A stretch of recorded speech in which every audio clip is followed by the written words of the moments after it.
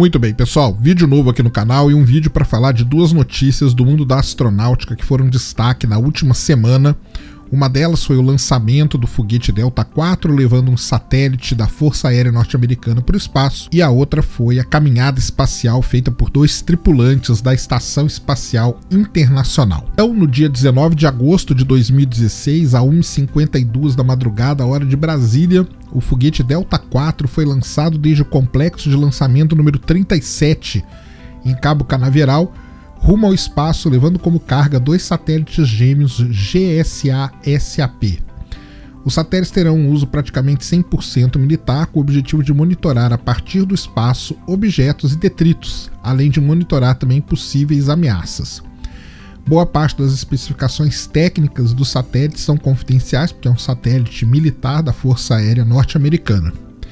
Esse foi o ter terceiro dos quatro lançamentos planejados para o Delta em 2016. O próximo lançamento deve acontecer em novembro desse ano, quando ele colocará em órbita um satélite de comunicações. Porém, para a ULA, a United Launch Alliance, que é dona do foguete Delta, o próximo lançamento entrará para a história. A empresa lançará o Atlas V no dia 8 de setembro de 2016, levando como carga a sonda Osiris-Rex, que tem como objetivo encontrar o asteroide Bennu recolher uma amostra e retornar para a Terra. Também no dia 19 de agosto de 2016, às 9h04 da manhã, hora de Brasília, começava uma caminhada espacial de dois tripulantes da ISS. A Kate Rubens e o Jeffrey Williams passaram 5 horas e 58 minutos trabalhando do lado de fora da estação espacial. A missão deles era instalar um novo adaptador para o acoplamento de naves comerciais na ISS. O mecanismo é chamado de IDA International Dock Adapter. Foi levado para o espaço a bordo da cápsula Dragon na sua viagem de junho. Durante a semana passada, em preparação para essa caminhada espacial, o braço robótico da ISS retirou o mecanismo da Dragon e posicionou no lugar para que os astronautas pudessem trabalhar. Esse mecanismo será usado pelas cápsulas Dragon da SpaceX e pela Starliner da Boeing a partir de 2018 para fazer as acoplagens, levar suprimentos e levar astronautas para a estação.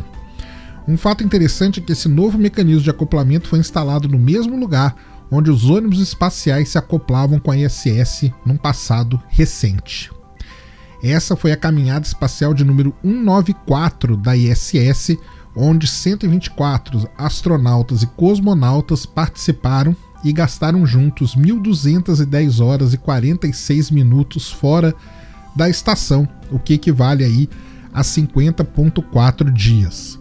A próxima caminhada de Williams e Rubens deve acontecer no dia 1 de setembro de 2016, quando irão trocar um radiador da estação, instalar uma câmera de alta definição e trocar uma luz externa do laboratório espacial.